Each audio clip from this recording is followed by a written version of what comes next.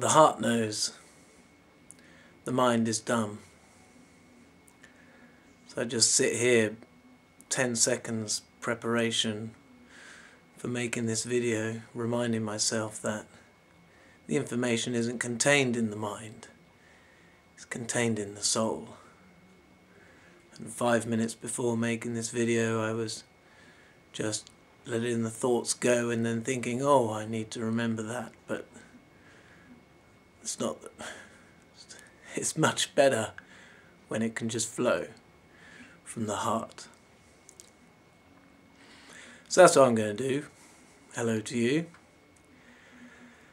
Uh, I've been um, thinking I need to make a video because of the what I want to communicate, what I want to get across.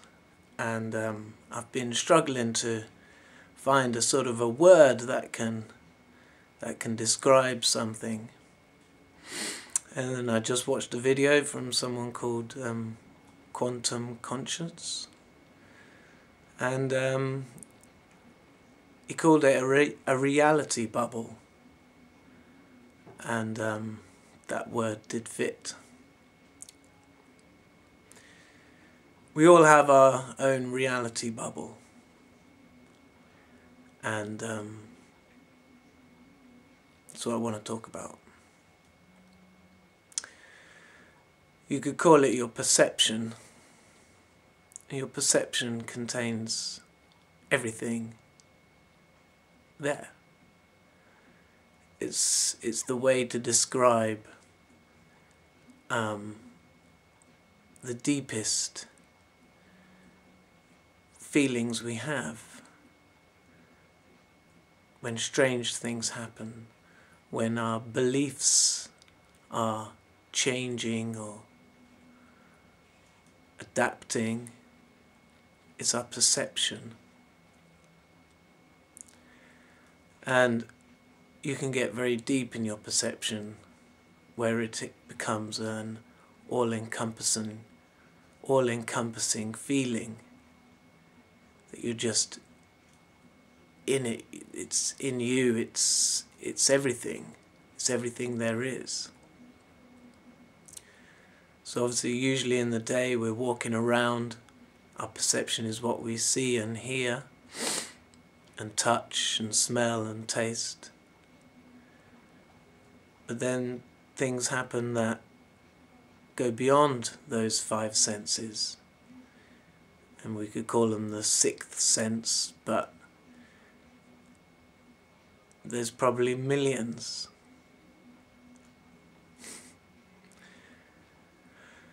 So I was going to explain a bit about when I get something on that soul level, the way it can, the way it can, um, there can be like a tint of colour to everything.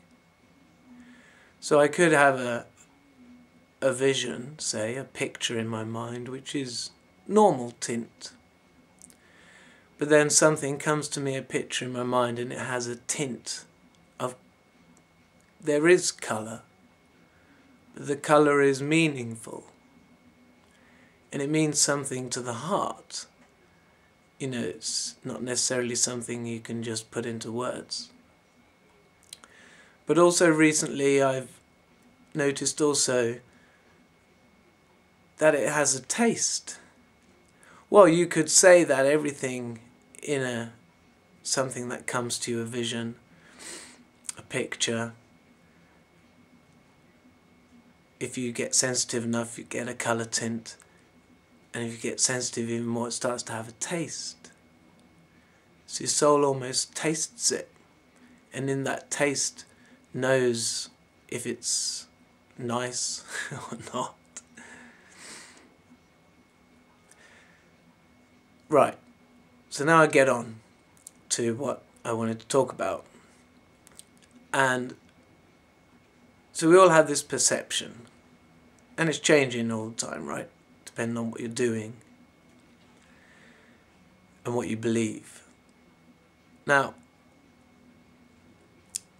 they are connected. We are connected. So, if I have a particular belief about something, let's say a favourite car, right? So say my favourite car is a red Ferrari GTO. On a quantum level, everyone who also has a favourite car, red Ferrari GTO, is in a sense gonna get connected to me. So on a quantum level, on the soul level.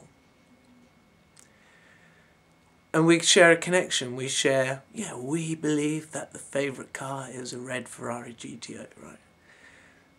And then say there's thousands of people whose favourite car is a red Ferrari GTO. We'll all have this sort of similar perception and, and a connection. And then two, that is going to divide us from all the people whose favourite car is a yellow Lamborghini. And we're going to be slightly different on that particular subject. then we all say love cars, so then now we're connected on that particular subject. And you see this in religions, of course. So, you know, someone with exactly the same religion is going to like you and you're going to like them because you believe in the same thing in it so on this deep down level it's got a color tint it's got a taste. There's something about this belief system right? And so what I've noticed so here coming to the crux of it I'm watching a video on YouTube about the Mandela effect.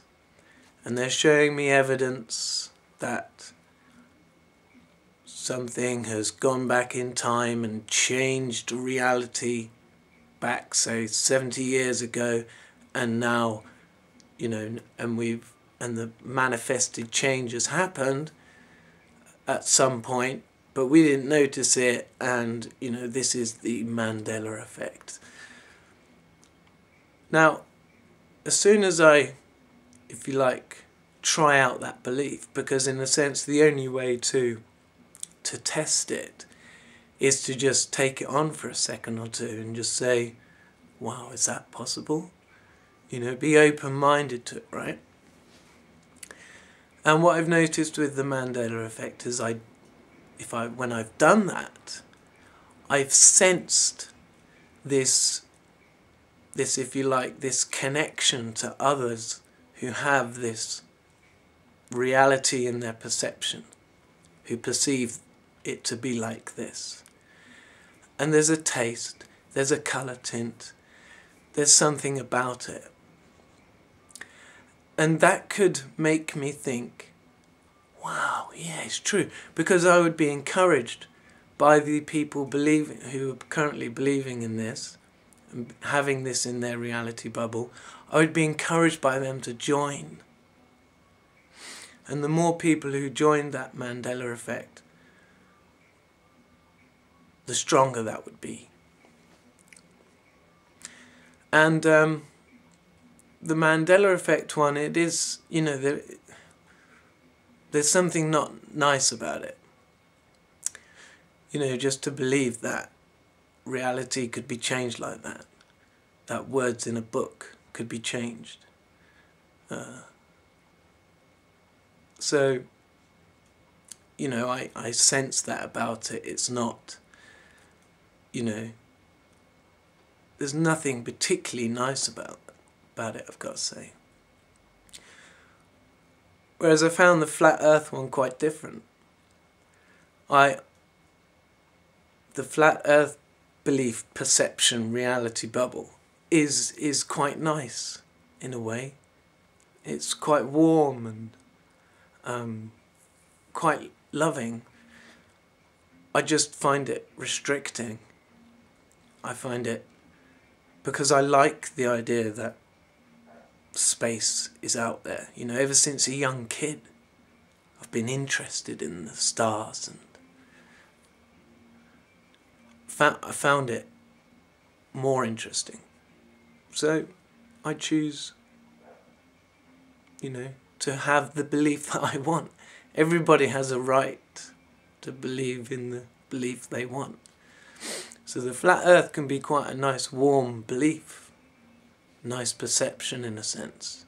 And so far as affecting your life and the truth that you know, it's not a big deal. But the Mandela effect, I think, is a lot worse and, and could, you know, can take you down a, a not very nice path. Now, how about the reality perception when we include God? Because you've got your own reality bubble, but what about what's outside of your reality bubble?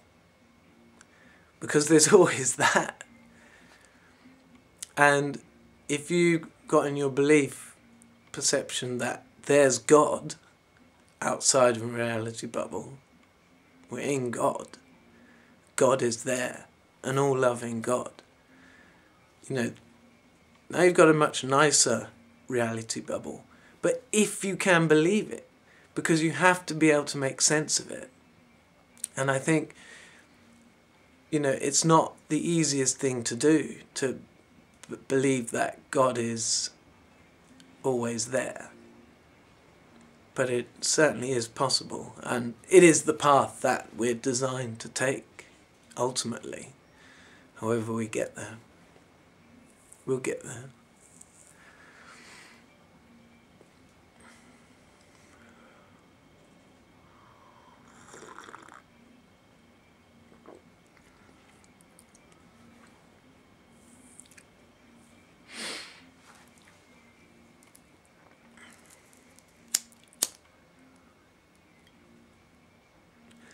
I also remember the reality bubble of Divine Truth, A.J. Miller.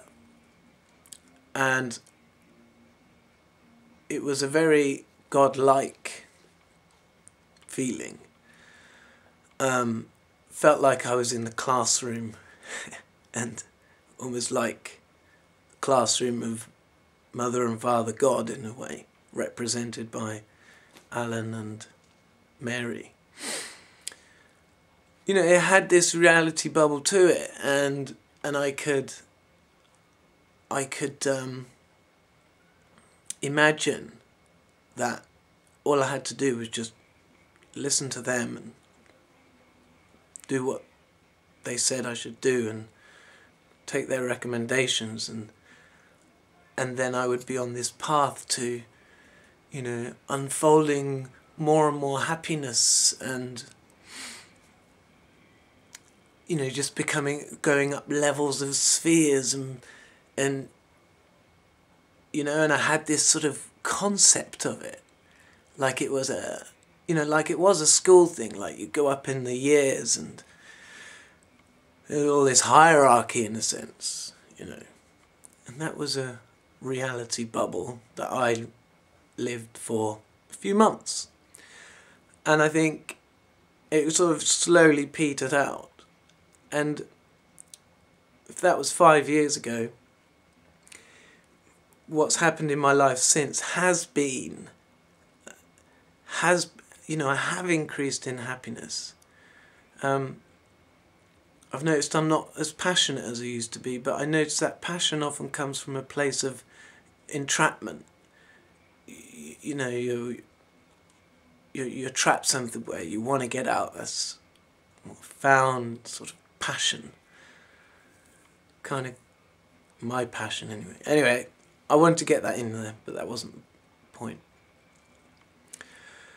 So over the last five years, you know, it has it has happened, but it certainly isn't like the conception I thought when I first got into divine truth.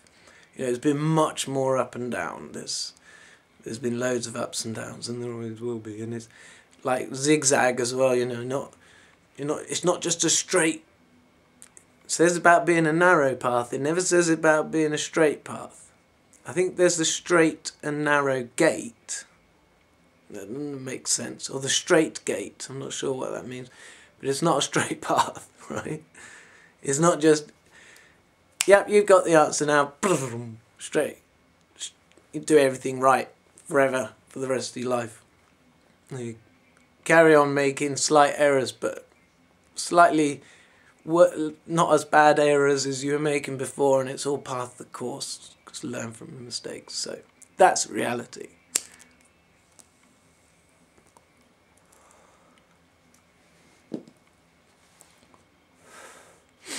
So, are there things we need to cling on to with our reality base? You know, you you're going to go a bit out your comfort zones, but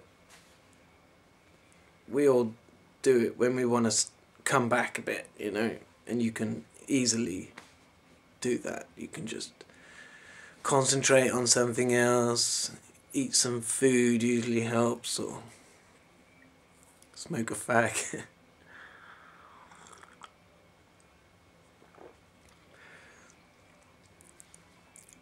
you know, we need God so much.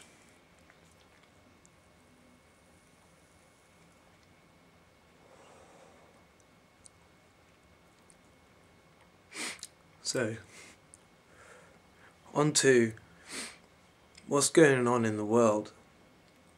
Um, you know, all this, all these different perceptions of beliefs going on, and that just we just had uh, Alex Jones and Joe Rogan uh, long talk. That's uh, everyone's. A lot of people are buzzing about. There was a lot of information dropped in that talk. Uh, it seemed it seemed all very sincere between them all, but you know, who knows? I can't believe Alex Jones is only forty five. Was that a mistake? He said. Really? Um,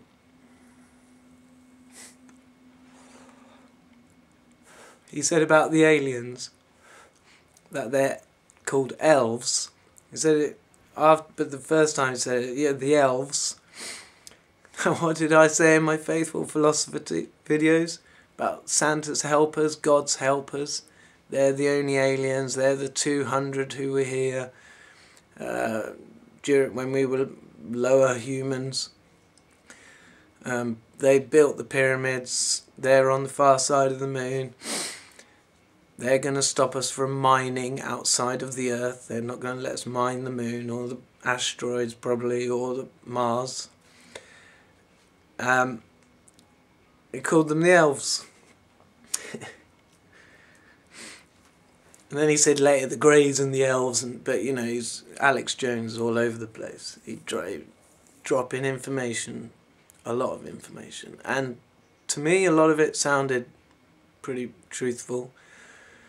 You know, the moon landing things about how the footage is fake, but they did go to the moon, um, is interesting. Um, I did, I have since been wondering about if it was possible for them to go to the moon because they were given some technology in order to do it, and that was a coating on the spacesuits and the rocket uh, a gold coating so they could still see through it but and then done in some way that it could block the radiation because that's what it says in the emerald tablets of how Thoth got his spaceship to Earth and protected the radiation with the a layer of gold. It says that in the tablets. And you see on some of these pictures the gold tint on the visor of the and if that's why they haven't still got that technology because they're not they're still not able to layer it on the way it's done. I mean it's possible. It's possible. But the footage that we see of the moon lands everyone accepts that was fake. So so that was a bit of information they had in that video. Um, there was loads. Obviously i'm not going to just reiterate it all but to me it's got this feeling that there's just so much stuff going on. People are just being pulled here, there and everywhere that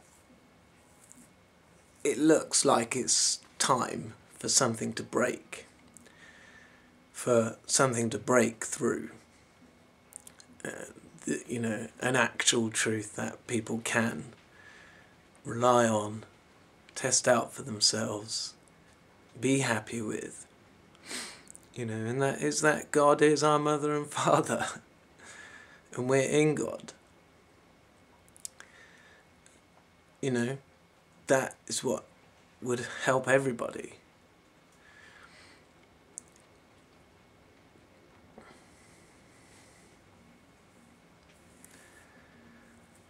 You know, this video I just watched, this guy, Quantum Conscience, saying about how, you know, with with people believing in Mandela effect and such things, and then and false flag events and the evil gov- government and by feeding these things on, they're feeding on their perceptions of hell, and that's what the evil elite are trying to do.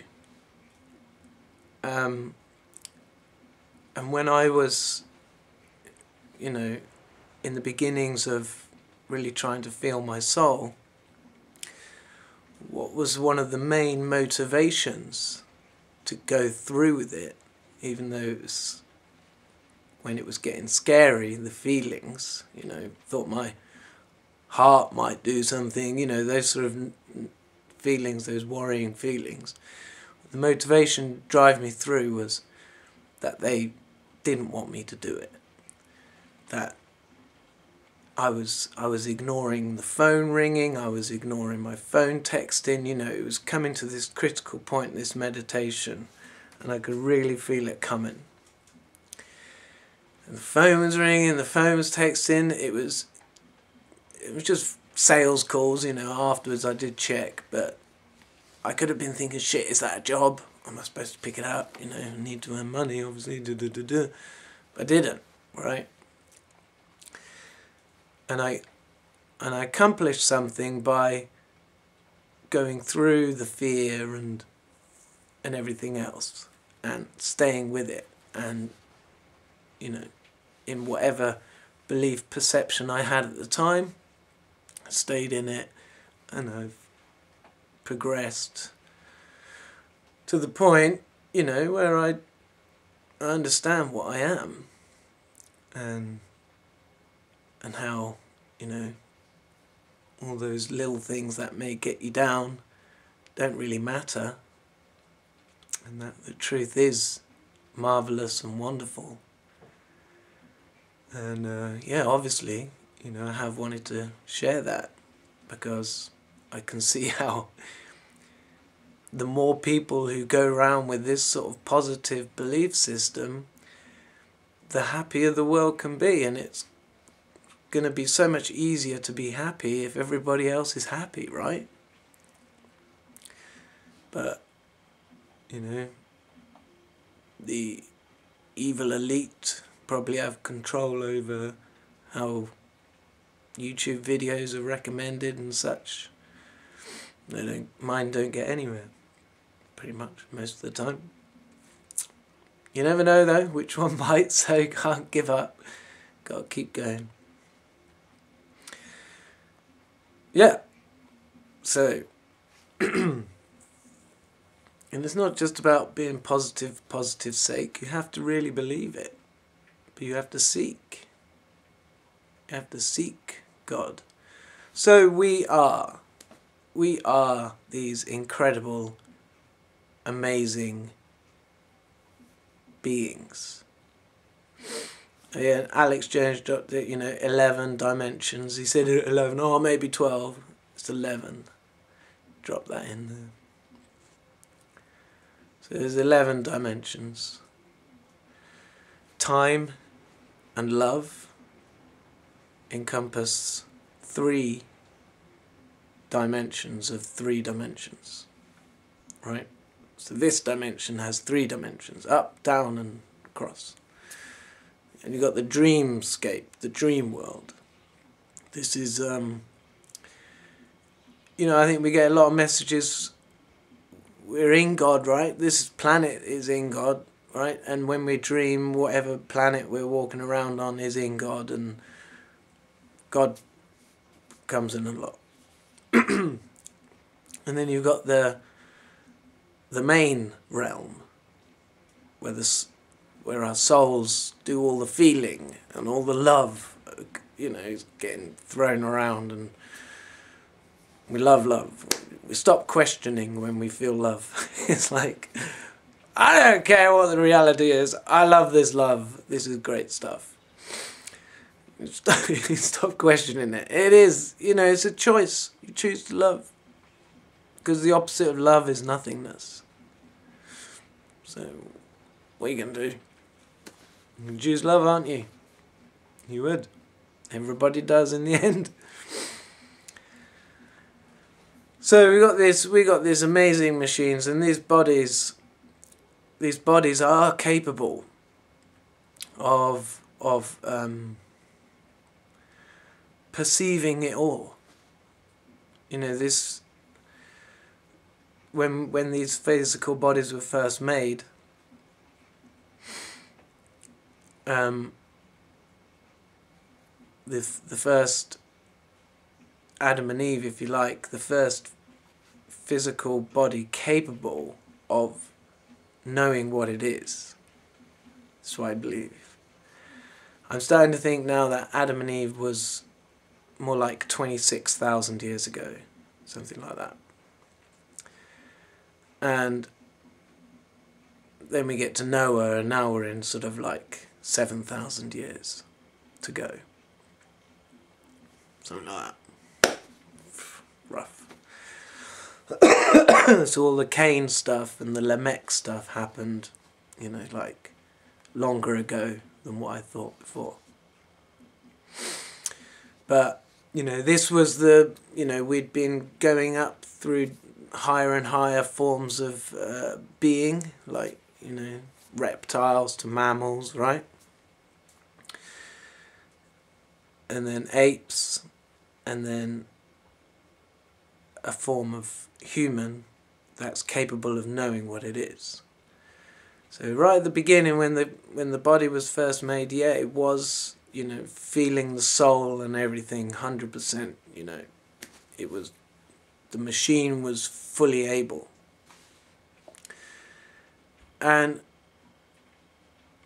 throughout the generations, you know, some have held on to the knowledge, whereas there's been a, a cut off, a divide, you know, they're the servants, they, they don't, don't give the knowledge to them because they just need to do the shit we want them to do.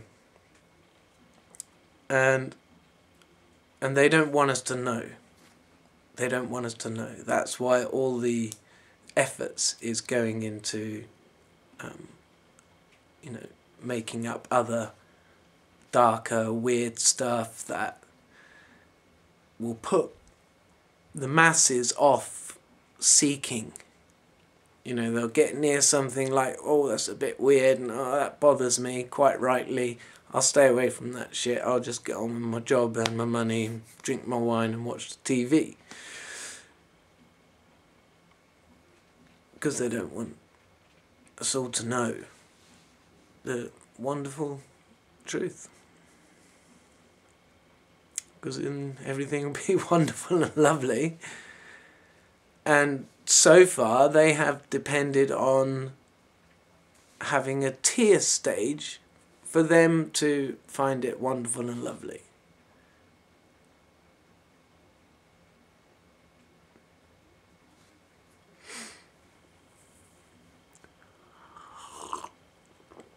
You know, I wouldn't want to be raptured.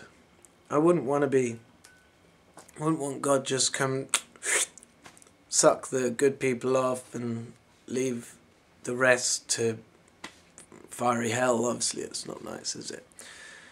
But we, I really want to be around, right? I really want to be around watching to see what God does. I mean, it is fascinating. All the different complexities of things going on. I mean, it's just it's just really amazing. You know, truth is certainly makes the best stories. But yeah, we need to be around and see exactly how God turns these things around. And, you know, I'm trying to do my bit as much as I possibly can. And everybody's doing their bit. How's it all going to weave together and come out wonderful? or, well, I guess it will be gradual, right? Everything I've noticed about this, ever since I've been into this, you know, everyone's been expecting a whopping massive thing to happen. Now, things have happened, but what I've really noticed is how they've been changing gradually. You know, and and gradual change is permanent change. You don't you know, if you had just this one big massive change and then that was all it, that was all done, and I don't know. It wouldn't be the same, would it? You'd look back and you'd, I think you'd look back more and think, well, what, what if, what if? But I think because of this gradual change, you know, you wouldn't want to go back because there's so many things have happened, and yeah, gradual change.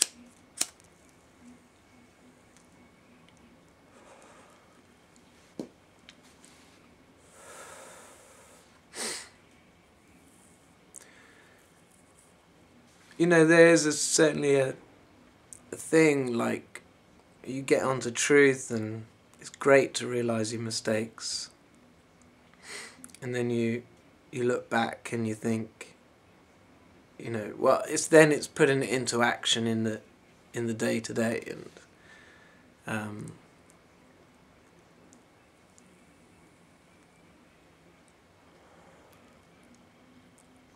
realizing when you're about to make the same errors as you've made before. But then thinking oh now but now I know. Now I know that's not right. I mean the way I've gone because that has very much been the divine truth you know like uh, talking about growing your willpower to resist doing the, the things that you used to want to do the addictions and all that sort of stuff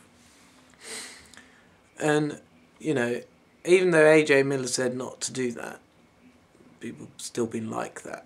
Because I guess he says not to do it once, but then he makes like 20 sort of things like, oh, but you're carrying on your addictions and blah, blah, blah. So, you know, he infers it 20 times that you should resist. And I've very much found resisting is wrong, right? You resist, no. Allow, yes. So you know, with the smoking thing, I see it as a dependence. I still do it, so I'm not perfect.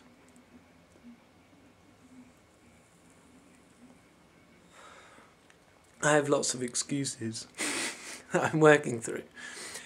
But one thing I've, and I say is touch wood, right?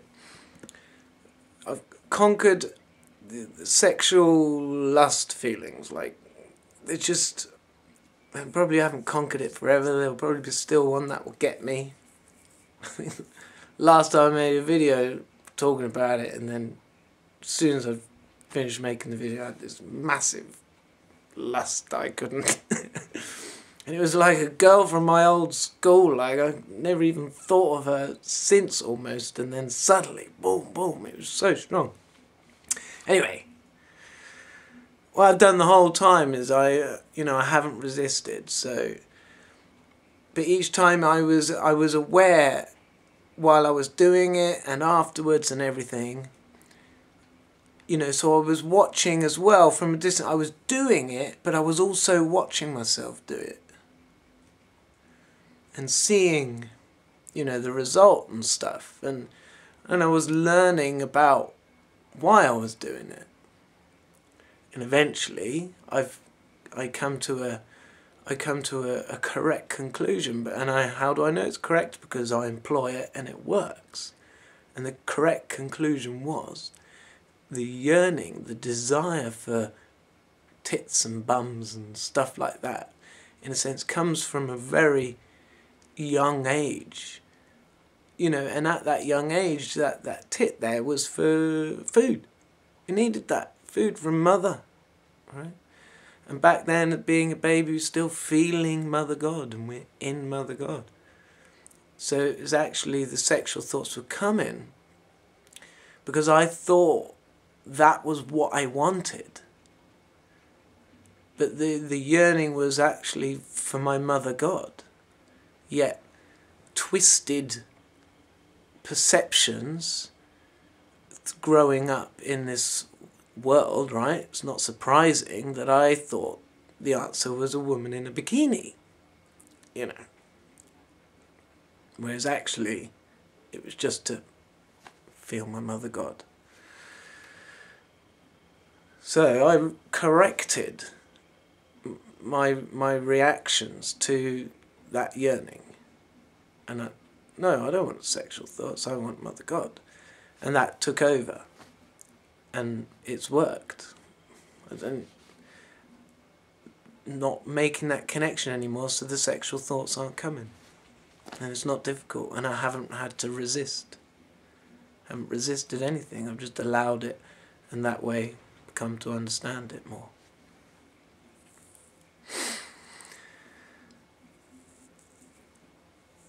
Because everything you do perpetuates, you know, it's that thing, you know, love begets love. So me sitting there thinking about sexy girls is going to perpetuate that. You know, it's going to be my reality bubble. It's going to connect with other people's reality bubbles who have the same thing. So make your reality bubble, make it, don't force it. be aware of your reality bubble and the effect it has on others. But you always get the result of your reality bubble. And as we don't like unpleasant results, because if they're not loving, they're going down the slippery slope to nothingness. And that's not a nice place to be. So that's how we learn.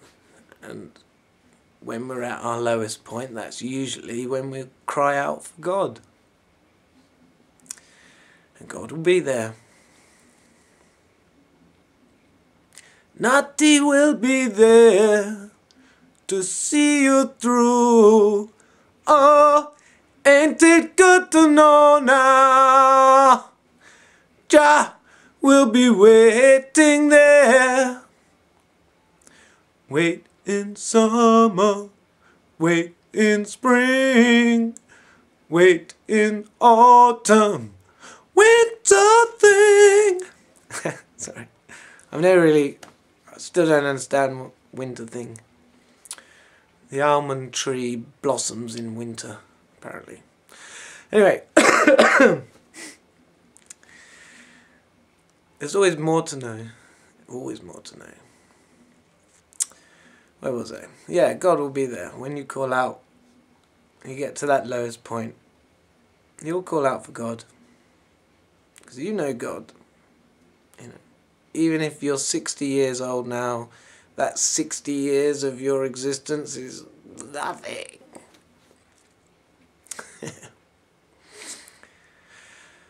so yeah, just again, just very looking forward to how things are going to pan out. Like I say, something is about to break through.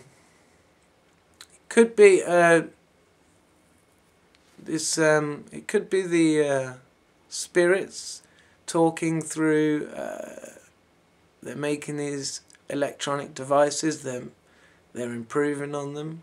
Saw a video earlier. That could be the thing. It. God, right? God's plan, God's timing. Very good. March 22nd this year. I know I've said it so many years. March 22nd always seems like a thing and then nothing happens. But a lot of things pointing towards it with the Jewish Purim thing, and it um, it's on the day before the Sabbath. Um, you'll have to you'll have to watch some of the videos about Purim, but do you know what I mean? It's it looks like it's uh, what's the word ripe Just just the right conditions. Just the right conditions.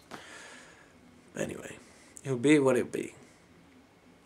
Okay, I think that'll do. So, um, so yeah, do what I can and leave the rest to God. I think that's good advice. And um, I've got a message for you out there. Join the join the perception of a God ruled universe which is loving and wonderful. And we are gone through these last few thousand years of what seems like you know not very nice stuff is the birth pangs of us becoming aware of what we really are. And it's happening. It's happened for some already. And it's going to happen for everyone, however long it takes. Okay, ciao.